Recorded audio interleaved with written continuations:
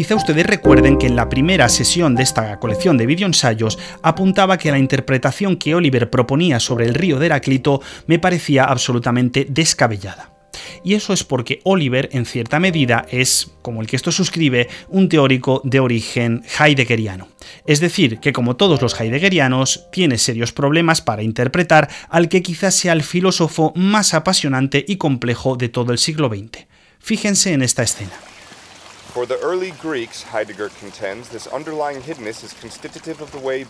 Más allá de que el fragmento esté horriblemente traducido al castellano, donde dice otras entidades en realidad se está refiriendo a otros entes, término post-metafísico clave para entender la lectura de Oliver, lo que aquí me interesa son tres cosas. Primero, que hay algo que no encaja en la lectura que Oliver realiza, algo que es una idiotez, es decir, algo que no tiene sentido.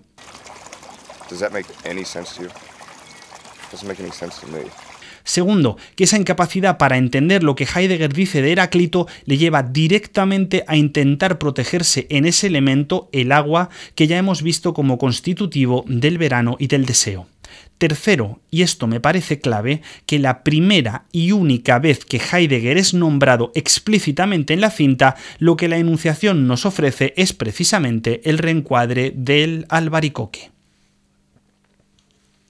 Sin duda, este árbol de albaricoques es el auténtico protagonista del plano. Helio queda fuera de foco, su movimiento parece incluso ensuciar su contemplación. Ahora bien, ¿en qué se pueden conectar cosas tan distintas como un filósofo alemán y un árbol mediterráneo? Aunque parezca extraño, en su placer para los juegos etimológicos. Como quizás saben, Heidegger edificó parte de su pensamiento remitiéndose al origen del lenguaje, a los significados que habían sido desplazados, enterrados bajo capas del tiempo. Por mucho que el estudio etimológico de Heidegger sea más o menos dudoso desde un punto de vista estrictamente filológico, lo que el filósofo decía era que cuando hablamos no únicamente decimos cosas, sino que también las cosas que antes nos conectaban con nuestras comunidades de origen emergen. Por eso, quien habla mal y escribe mal necesariamente piensa mal, porque su relación con el origen mismo del ser es parcial y por lo tanto poco o nada de valor puede decir sobre el mundo en el que habita. Ahora bien, cuando uno conoce el origen etimológico de lo que está anunciando, cuando uno sabe qué cosas dice cuando habla, pueden pasar cosas tan sorprendentes como estas. Ah, how so? Uh, well, here the Greek actually takes over from the Latin. Latin word being precoquum or precoquere, so it's precook or pre-ripen, as you know, uh, to be precocious or premature. Ser precoz, esto es, estar listo antes de tiempo. Es decir, alcanzar un cierto estado de sabiduría, de maduración, en este caso es obvio que se está hablando de helio, que hace que alguien o algo sobresalga de entre los demás entes. Ser precoz, como bien saben, es además una terrible fuente de sufrimiento, ya que nada odian los hombres tanto como aquellos que precisamente sobresalen por méritos propios. Y no es, por cierto, este un gesto religioso, una cierta bendición por parte del Padre. Helio y Oliver son sin duda precoces, cada uno a su manera y únicamente porque ambos hablan bien, es decir, porque piensan bien y ahí se despliega la idea del amor que atraviesa de punta a punta Call Me By Your Name. Los dos son, por así decirlo, albaricoques heideggerianos. Y volviendo a Heidegger, merece la pena recordar el seminario sobre Heráclito que realizó junto a Eugene Fink en invierno de 1966. Un seminario crepuscular, casi en sordina, nada que ver con los deslumbrantes cursos que impartió en 1943 y 1944 sobre el filósofo griego. Aquí, la verdadera lectura que aparece en este último Heidegger sobre Heráclito va por otro lado y además nos permite enriquecer algo nuestra comprensión sobre la película. Lo que a Fink y a Heidegger les interesó no es el célebre fragmento 12 de la numeración habitual de Heráclito, sino el 64, que según la traducción de Fernández Marzoa sería algo así como el todo lo gobierna el rayo.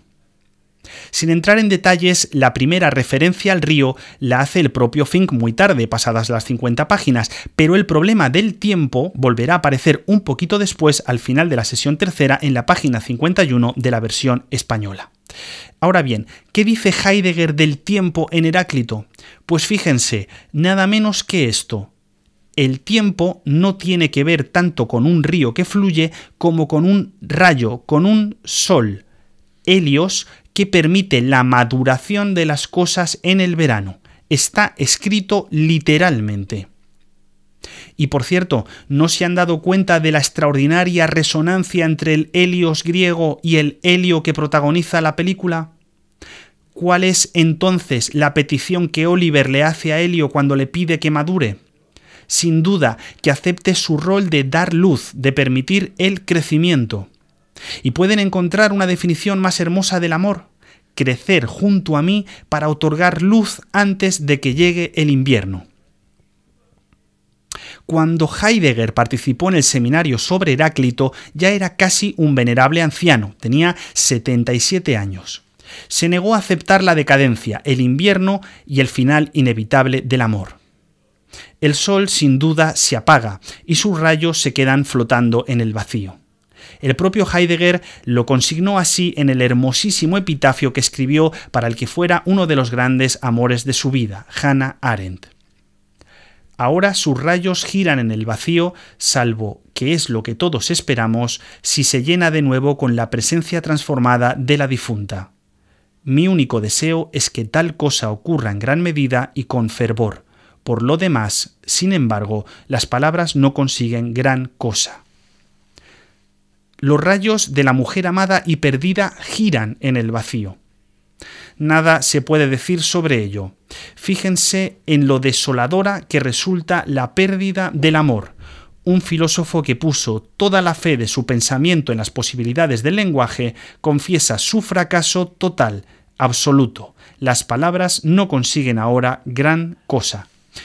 Y déjenme darles un dato más, el seminario sobre Heráclito de 1966 fue la última vez que Heidegger se dirigió en público a los estudiantes en un aula universitaria. Lo decía al principio, la experiencia del tiempo no es más que la experiencia de la pérdida. Que el nombre es el centro del amor y del saber en la película parece, por lo tanto, claro. Pero antes de cerrar esta pequeña colección de videoensayos, deberíamos asumir que no nos hemos planteado lo más esencial, qué es un nombre y por qué únicamente Oliver y Helio lo intercambian. Sin duda, un nombre propio es una palabra que ciñe el tiempo que habitamos en el mundo. Se nos da en el momento en el que comienza nuestro tiempo y deja de significarlo todo en el momento de nuestra muerte. El nombre es, además, el proyecto de unos padres que, antes de que comience nuestro tiempo, fantasean y se preguntan por nosotros. Nuestro nombre es el deseo que otros han tenido de que nosotros habitemos la tierra. Un buen padre o una buena madre, además, no son simplemente los que ponen un nombre, ya que cuando nosotros somos niños también inventamos nombres para nuestros muñecos o para nuestros amigos imaginarios. No, un buen padre o una buena madre son los que nos ayudan a construir ese nombre en el pequeño tiempo que les corresponde. La infancia, la adolescencia, la primera juventud. Construir un nombre es algo que cuesta mucho, mucho tiempo, mucho esfuerzo y que además se complica enormemente cuando aparece el deseo. De entrada, para que uno pueda desear, los padres deben desaparecer, o mantenerse fuera del marco de nuestro deseo. Después, los padres tienen que respetar que con nuestro deseo comienza también un tiempo en el que ellos quedan fuera, un gesto en el que todo queda al margen del margen. Pero lo más importante y lo más difícil, cuando un buen padre o una buena madre nos cede un nombre, nos promete también algo,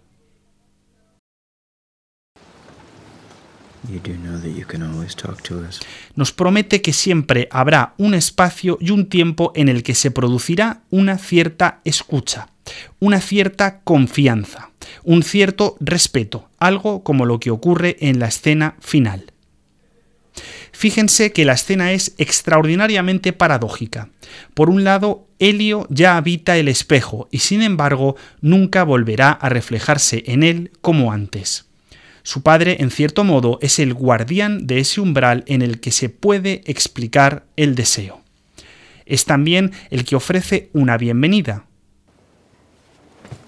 Welcome home. Y el que nombra la existencia de un hogar al que se puede volver y en el que él, de alguna manera, está presente. Just remember I'm here. Y lo está porque al contrario de todos esos que se denominan padres pero que luego salieron corriendo porque tenían otras cosas mucho más interesantes que hacer, decidieron permanecer ahí, donde el deseo se vuelve intolerable.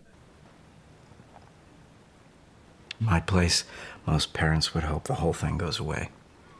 Pray their sons land on their feet. But donde realmente necesitamos un nombre para no rompernos en miles de pedazos.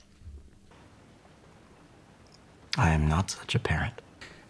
Pero porque él no lo es, no es de esos padres, porque sabe que su hijo tiene un alma, es decir, que tiene que habitar un tiempo y un deseo, le cederá dos cosas. Por un lado, la verdad. We rip out so much of ourselves to be cured of things faster La verdad es que el cuerpo se quiebra, que el deseo se desvanece, que el amor en definitiva termina. La verdad es lo que les llevo diciendo una y otra vez y se lo seguiré diciendo hasta que me escuchen, que el tiempo es pérdida. Créanme, los buenos padres siempre dicen la verdad, incluso cuando eso significa literalmente pasarse de la raya. Have I spoken out of turn? Y ese pasarse de la raya No es confesar que esa es la gran paradoja del tiempo. Únicamente en la experiencia de la pérdida es precisamente donde emerge la extraordinaria belleza, la extraordinaria dicha y el extraordinariamente potente desvelamiento del amor porque detrás de nosotros vienen otras almas que tienen otros tiempos y que esperan de nosotros que les acompañemos hacia ese único verano en el que se desvela, aunque sea por unos segundos, lo extraordinario que es habitar el tiempo, lo extraordinario que es tener un nombre y poder cedérselo, aunque sea por un único verano, a la persona amada.